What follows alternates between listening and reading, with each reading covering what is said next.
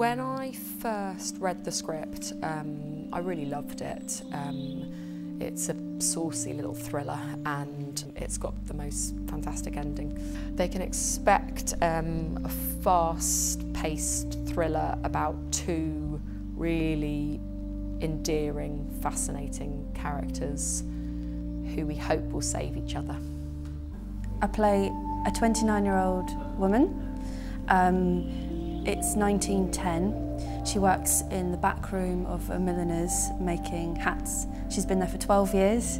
Um, she's been left a bit of money and she's got these sort of ambitions to, uh, to better her life and to, um, to, to make something of herself with this money. Um, she meets a guy called George Love um, and he sweeps her off her feet. Um, she's never been in love before, so it's new and exciting. And then we see um, how that, that, that story develops through, through the play.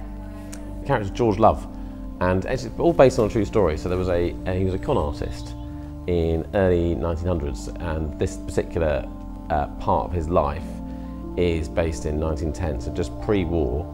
And uh, he was he was basically a, a con artist that used to go around the country, and he used to um, various different, scams and, and uh, schemes to uh, rip off people, specifically women. I suppose the challenge of the piece is that it's a two-hander, so it's just me and Fred, um, which means that you really have to trust the person that you're working with, um, and so the challenge is what once you're on the stage, that that's it. Like there's no going back. So that sort of feels a bit like jumping out of a plane.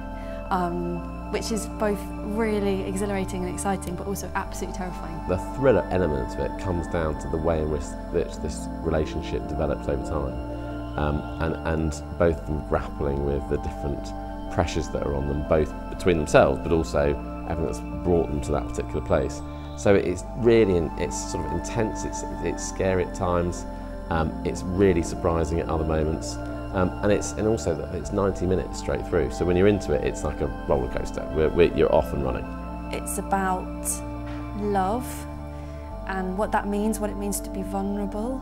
Um, I think it's very relatable. I think um, I think the characters both have traits that we can all recognise in ourselves.